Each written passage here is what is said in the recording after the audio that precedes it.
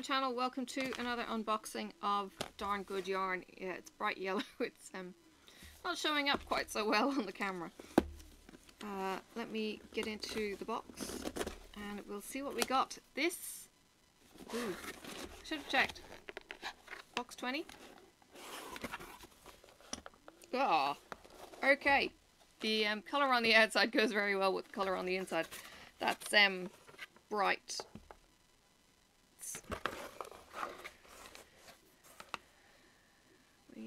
there? We're there. Look at that! That's like candy floss. It's um, candy candy floss, fairy floss. That yeah, spun sugar.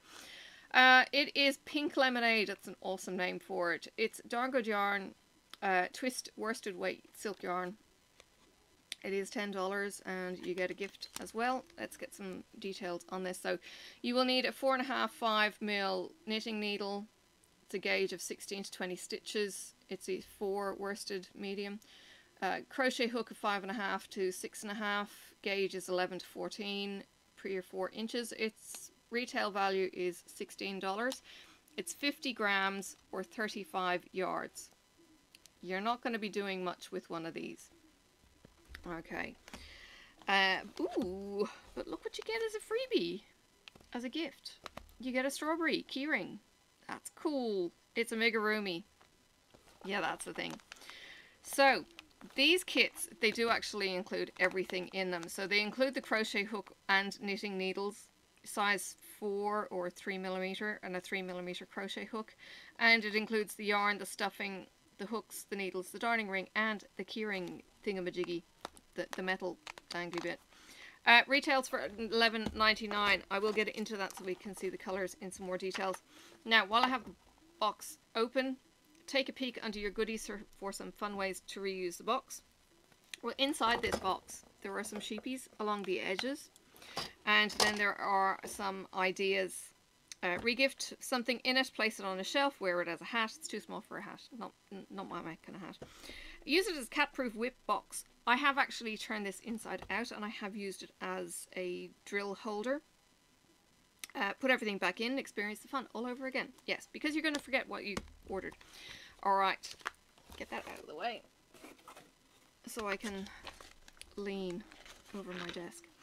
Alright, uh, Nicole has given some info here, some pictures of the Hanks drying and the colours there. Oh, they've made a little bandana, little kind of necky scarfy thing. Um, okay, so this is a byproduct. If you haven't watched any of these videos before, it's a byproduct of the silk production and that yields about 10 to 15% waste. So this is that waste. And then these artisans are repurposing it. They are spinning it and they're dyeing it and they're giving it to us. Now this worsted weight, you don't pull too hard on it, be quite gentle, but there's a great difference between this dark pink, light pink, and then the light pink mixes in with the bright yellow. So uh, yeah, it's a fun kind of yarn. Now there are different ways that you can enjoy this. So there's the stitch videos where you can see what's done and how it's done. There's a shipping rate, so it's $10 shipping for me and $10 for the product. So $10 for these two and $10 for shipping. So from that point of view, are you getting your money's worth there? There is the Darn Good Yarn dashboard. If you want to take a break, you can skip for any amount of time. Um, you get customer service, online community, and the stitch. Now, uh, there are various different boxes that you can get from Darn Good Yarn, and uh, Nicole is on video saying how she chooses the editor's box and things like that. Uh, it's from twisting two strands of yarn together so you see the tie-dye pink and the yellow as they've done that. So they've dyed the pink and then they've dyed the yellow and then they twist the two together and you get this gorgeous um, fruit salady kind of mix. This actually reminds me more of the fruit salad lollies that we used to be able to get. It was kind of like a tiny toffee, tiny little toffee bar um, in a fruit salad, pineapple and orange kind of flavour. It was quite yummy. And the other option in those sizes were things called blackjacks, which made your tongue go black. but this reminds me of uh, fruit salad, or at least this does, definitely does. But it's a neckerchief or headscarf if you would like to make a just a really small project. You could do it as a doily or whatever, but there is a knit pattern. There is two little pages on that. It's 60 stitches and the crochet is actually nicer than the knit. Um, and um, can't see how many. It's just chains making chains. Really really simple. Looks like 19 stitches on your crochet. Um, and there is the crew at the warehouse showing all of the boxes that we get. And there is the catalogue alright now this is for ages 8 plus. Uh, if you have younger children who enjoy these kind of things don't limit them by the ages on the kits. They may be well able for it at the age of 8 or they may be absolutely starting out as an adult but I guess the idea is that you're reading instructions, you're doing an awful lot of skill making, um, being able to do these patterns so yeah okay try and get everything out. The problem will not be getting everything out, the problem will be getting everything back in.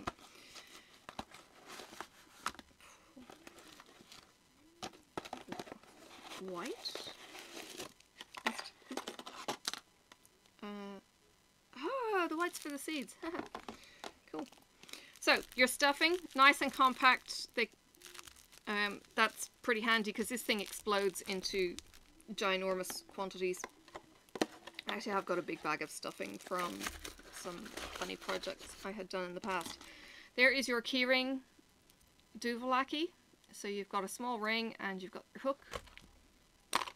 I actually have, um, one of the gifts was a pom-pom um, kind of tassel. More, yeah, tassel, more like. Um, I actually have one of those on my keyrings. It's quite fun and chunky and it stands out a mile if you drop it anywhere. Alright, now there is the crochet hook and there is the darning needle. They're plastic, you know, light, easy to use. And these are 3 mil bamboo double-ended knitting needles. So that's a nice little kind of part of that. That They're not, you know, necessarily cheap.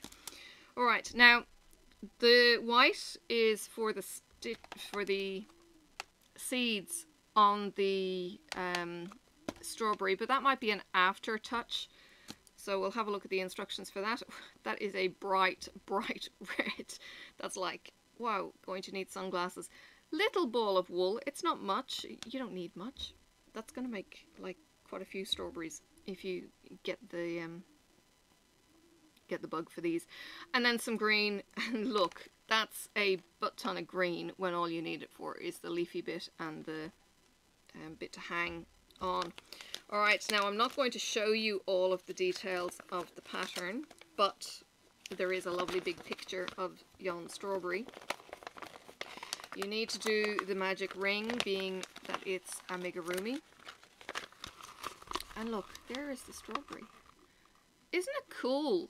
You see what I mean? That these white bits might not actually be stitches, they might just be afterthoughts that you just put on afterwards. Uh, yeah. So sew all the parts together with white yarn, embroidered the seeds onto the pulp, and then add the keychain and the stalk. So it's very much an afterthought. You put it on even after the stuffing. this, excuse me, is crochet on one side and knit on the other. Okay, so I uh, can't really do this terribly well. But I will try. Okay, I want to show you both together. That's what I'm kind of after. If you're not used to amigurumi and the textures that you get, so this is the knit and you can see how tight it is and this is the crochet. They actually have much more texture with the crochet. Um, my very first project crocheting was an amigurumi. I didn't know what I was doing. I have been knitting for years. Um, and I think I prefer the crochet finish because it's a spiral than I do the knit. Um, but yeah, that's just my kind of feelings on the whole thing. But uh, the knit is a much tighter weave by the look of it than the crochet. Maybe it's just the tension that the person was working. I don't know. Um, but yeah, there you go. You get both. You have the choice. You could do both. You have enough, except for the keyring thing. Um, you actually have enough of the fabric to be able to do either, either, both. Uh, I've done that wrong.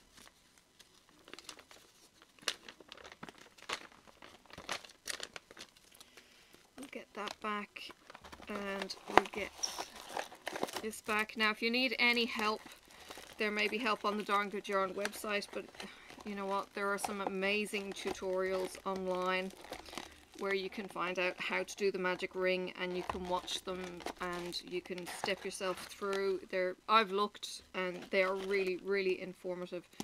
So um, please check out the tutorials on those. There are some amazing creators out there who have made things so much easier for us as crafters. Alright, that's, oops, that's that. Now they don't quite go back together again as they should because the tape was holding things back as well, but I will do my best. Um, but that's that's not a bad effort. I'll put some tape on it when I'm finished. Alright, um, as I said, $10. If you would like to try this box for $5 for your first box, then please follow the link in the description. Um, if there is a box that you particularly like, you can actually double down on the box. So you could get, you know, double this if you knew that this box was coming up. So I will put the number of the box in the title. So it's just that I haven't looked at the video and I'm not going to delay you really. Um, it's 19, 20, 21 kind of thing. Possibly 20. Uh, but I will have it in the title so you will be certain there. And um, yeah, check it out if you'd like. And yeah, the um, first six unboxing videos, I don't know where they went. Um, if you want the first six boxes and you want to have a look at what's there, um, I actually got this off the back of watching Mrs. Coffee. Um, so maybe go check out her YouTube channel, check out her um, Darn Good Yarn videos and see if boxes 1 to 6 are there so you can actually get a sneak peek of what's in them. They are the same. So everyone who is getting box 20, 21, whatever it is, is always getting this yarn. So everyone gets the same thing per number. So, um, yeah, now she's no longer doing it and we may we may be now up to the same kind of box. She gets hers in advance because she's in the US. So this might have been her final box. I can't recall because I try not to look at her videos for spoilers. I want to be able to enjoy what is coming myself. So um, if there's the first, you know, few boxes that you're interested in seeing what's in them, um, yeah, certainly check them out on YouTube. I don't know where my videos went. I know I did them. I'm sure I was doing videos when I was um, buying the boxes, but maybe not. I don't know. I could always try doing a recap going, this is box number one and this is box number two. Let me know if you need this. Like, seriously, let me know if you need to see boxes one to six to know whether or not it's something that you would enjoy doing. Um, I have done projects, I have them behind me, but I have done projects with the yarn that comes from these boxes. I did string art on one occasion and I think there's another box that I got in the mid-teens that would be good for string art as well but when I got that particular box that I did the string art with it was like oh my goodness I'm so excited I just was immediately knew what I was going to do with that yarn this stuff maybe not so much although from a wearing a headscarf kind of kerchief bandana thing I might do something like that keep the hair out of the way or maybe even do it for Sophie so that she can wear her hair out of her face. Otherwise, her gorgeous blonde hair is in her face. So, you know, for a nice little project, that's kind of cute. Um, and it will knit up in no time. Knit, crochet. Anyway, it would emerge in no time.